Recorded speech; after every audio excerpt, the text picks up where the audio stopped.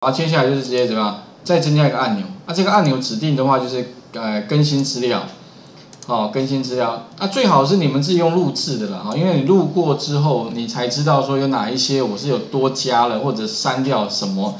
比如说清除旧资料哦，其实清除旧资料这个 sales 指的就是所有的储存格，也就是说现在这个工作表里面所有储存格把它 clear 掉，好，然后 query table 其实就这这一行，啊，这个地方这一行，这一行将来如果说你要换网址的话，就把这个换掉，那最后放在 A one。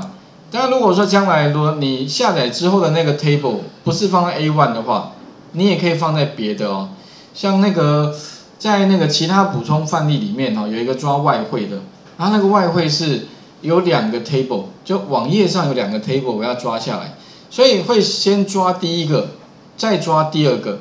那第一个的位置跟第二个位置不同，那你就可以借由什么这个位置哦，有没有？它抓下来放在哪里去做变更哦？OK。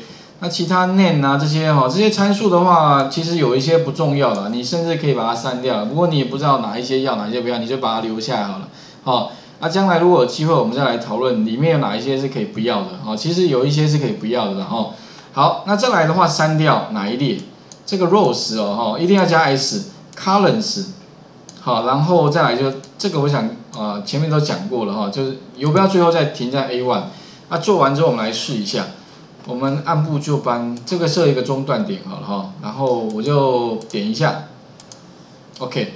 第一个的话哈，我们先确定一下它有没有 clear，哎有没有 clear 掉，对不对哈？第二个它去连接，这个时候还没连接，它只是先把相关的设定设定好，然后最后的话呢是 refresh 这个这一行，哈有没有？他去把它重新再抓，但是会多 就是前上面两列，所以这两列删掉。